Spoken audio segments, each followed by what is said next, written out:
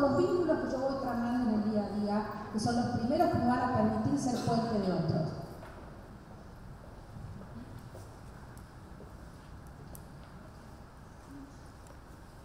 ¿Qué posibilita el trabajo en red?